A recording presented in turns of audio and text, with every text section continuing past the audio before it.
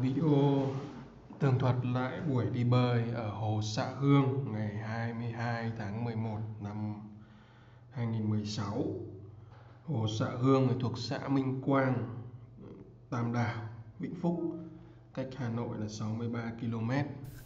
Hồ Xạ Hương được xây năm 1984. Nếu tôi nhớ không nhầm nó có thể chứa được khoảng 12 triệu mét khối nước đây là hồ nước ngọt để cung cấp cho ba huyện Tam Đảo, Bình Xuyên và Tam Dương. Đặc điểm của cái hồ này là hoàn toàn không có nhà hàng, xả thải và không có ruộng vườn ở quanh hồ mà hoàn toàn là núi bao quanh.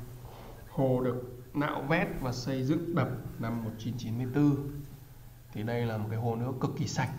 Như các bạn có thể thấy là Ờ, khi mà bơi ấy, tôi có thể nhìn thấy cả tay cả chân của mình. Thì ờ, khi mà đến cái hồ này thì anh chị em chuẩn bị ờ, mặc quần áo bơi để xuống bơi thì bảo vệ họ cấm cho bơi. Nguyên nhân là hồ này rất là sâu và nguy hiểm. Hai bên thành bờ là vách đá dựng đứng. Nếu mà anh em nào mà cần muốn bơi ấy, muốn muốn dừng lại chỉ có cách là đứng mé mé chân thôi, chỉ còn chỉ cần bước chân ra một đoạn là có thể sâu đến 3 3 mét. Hồ này à, khá là lạnh. Lúc đầu xuống bơi thì à, trời ấm, buổi trưa ấm. Thế nhưng mà trên quãng đường về thì có một số anh em là cũng à, cảm giác lạnh và bị chuột rút, trong đó có tôi. Đây đoàn chuẩn bị khởi động để bơi anh à, Tuệ mặc đội mũ trắng. Anh Tuệ hôm nay trốn việc để đi bơi. Đây là chị à, Phương Anh. Đặc biệt hôm nay có khách mời danh dự là anh Linh Trần. Anh Linh Trần này chuyên môn bơi ở sông Hồng. Đặc điểm anh bơi khá tốt và không cần kính và mũ bảo hiểm. Đấy hôm nay có cả anh Giao. Anh Giao ấy đang bị à, cúm, sổ mũi, nhưng mà anh Giao vẫn xoang xoang. Anh Giao vẫn tham gia cùng với đoàn. Được rất là sạch.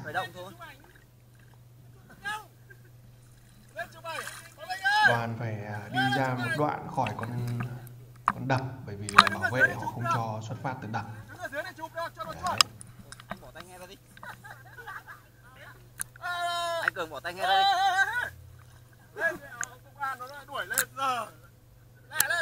hôm nay có cả anh Thanh Tùng anh Thanh Tùng mà đang dạy ở giảng đường. Nhưng mà nghe anh em rủ đi nên là anh Thanh Tùng cũng ờ, cho cả lớp nghỉ để tham gia cùng với đoàn.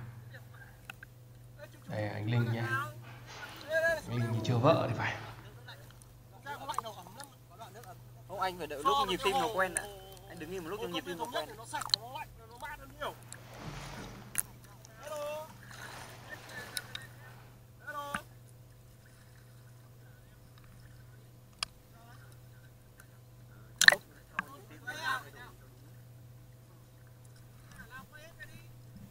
nước trong luôn.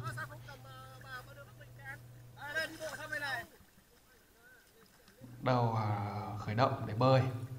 Các bạn có thể nhìn thấy à, cái can màu trắng trắng ở phía trước, đó là can của anh Bình. Anh Bình hôm nay cũng hết sức là dũng cảm, anh đang bị xoang. Lúc mà buổi trưa anh em nhắn tin thì anh Bình đang phục vụ vợ. Thế nhưng mà là may mắn là anh Bình được vợ cho phép đi bơi. Tôi thì không được ờ, dễ dàng như anh Bình khá là vất vả dàn truân à, ờ, trước hình như là có anh Hoàng Đỗ Thanh Tùng và nước rất trong nha. Đấy. Người quay phim hôm nay là anh Huy. Anh Huy uh, kéo theo một cái phao và trên phao để mình buộc cái camera.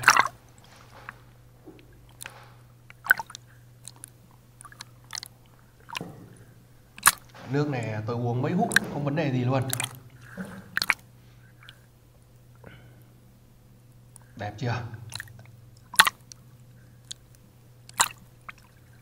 Ở phía trên ờ, các cái quả đồi, núi thì có những cái cây cây này tôi không rõ là cây gì nhưng mà nó có tỏa ra một cái mùi hương rất là đặc trưng và thơm. Mặc dù tôi đang bị à, cúm nhưng mà tôi vẫn ngửi được cái mùi hương của cây. À, chúng tôi đã đến đây. Đây là anh à, Linh. Anh Linh chuyên bơi sông Hồng. Anh còn chưa có thói quen à, bơi đeo kính. Trên là anh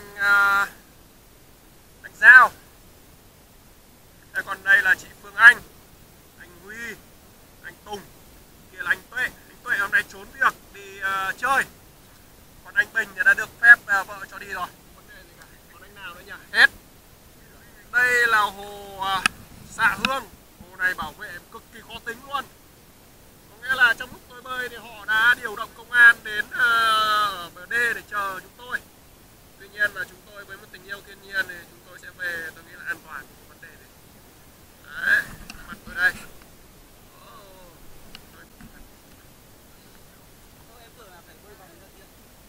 ở đây à, vâng ở chỗ kia làm cái vịnh thì đẹp luôn.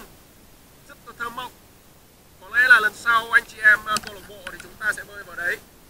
Thuyền sẽ chở barbecue bia. Chúng ta sẽ cắm trại ở đấy đến chiều chúng ta về. Tuy nhiên lần này chúng tôi sẽ không à, đến cái vịnh đấy để dành cho lần sau ông ấy đuổi sát mình thôi là sao thế bạn dưới mình của đấy em nghĩ rằng không thấy anh bình sau quay lại không thấy bạn của nữa thì được vào quay vào chồng đây là bác Linh Trần đây là em Phương Anh anh Bình Cát hey man đoạn đường về thì à, phong cảnh còn rực rỡ và đẹp hơn nữa trong ánh hoàng hôn. Bầu trời hơi săm sẩm tối nhưng mà mặt trời hồng đỏ ở phía trước. Khi chúng tôi bơi thì tuyệt đẹp. Ông nào chuẩn bị chuột rút? Ờ, trời anh bị chuột rút nên là phải bơi một đoạn.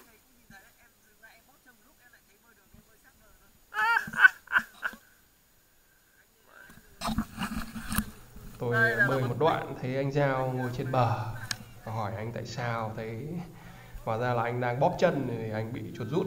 Tuy nhiên là đoàn à, về đích một cách an toàn tất cả mọi người.